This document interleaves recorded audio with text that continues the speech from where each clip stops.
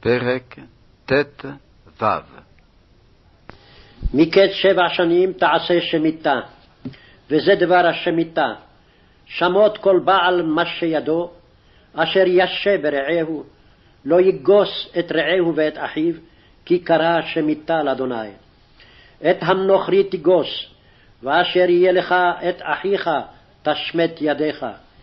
אפס כי לא יהיה בך אביון, כי ברך יברכך אדוני בארץ, אשר אדוני אלוהיך נותן לך נחלה לרשתה. רק אם שמוע תשמע בקול אדוני אלוהיך, לשמור לעשות את כל המצווה הזאת, אשר אנוכי מצווך היום. כי אדוני אלוהיך ברכך, כאשר דיבר לך, והעבדת גויים רבים, ואתה לא תעבוד, ומשלת וגויים רבים, ובך לא ימשולו. כי יהיה בך אביון מאחד אחיך באחד שעריך בארצך, אשר אדוני אלוהיך נותן לך, לא תאמץ את לבבך, ולא תקפוץ את ידך מאחיך האביון.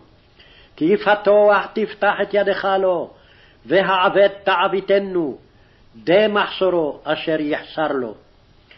הישמר לך פן יהיה דבר עם לבבך, וליעל לאמור, קרבה שנת השבע, שנת השמיטה, ורעה עינך באחיך האביון, ולא תיתן לו, וקרא עליך אל אדוני, והיה בך חטא. נתון תיתן לו, ולא ירע לבבך בתתך לו.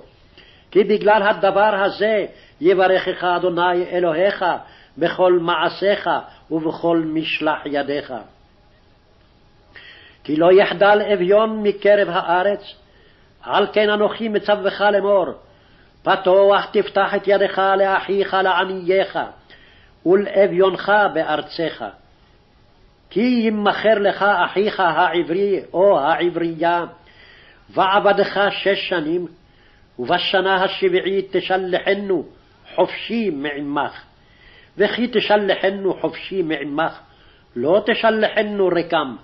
הענק תעניק לו מצונך ומגורנך ומיקבך, אשר ברכך אדוני אלוהיך תיתן לו.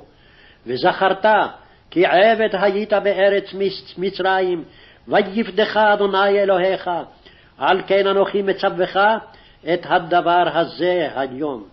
והיה, כי יאמר אליך לא אצא מעמך, כי אהבך ואת ביתך, כי טוב לו עמך, ולקחת את המרצע, ונתת באוזנו ובדלת, והיה לך עבד עולם, ואף לאמתך תעשה כן.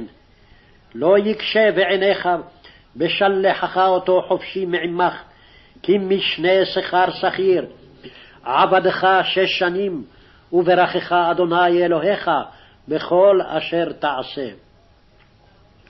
כל הבכור אשר ייוולד בבקרך, ובצונך הזכר, תקדיש לאדוני אלוהיך, לא תעבוד בבכור שורך, ולא תגוז בכור צונך. לפני אדוני אלוהיך תאכלנו שנה ושנה, במקום אשר יבחר אדוני, אתה וביתך. וכי יהיה בו מום, פיסח או עיוור, כל מום רע, לא תזבחנו לאדוני אלוהיך. בשעריך תאכלנו, הטמא והטהור יחדיו, כצבי וכאייל. רק את דמו לא תאכל, על הארץ תשפכנו כמים.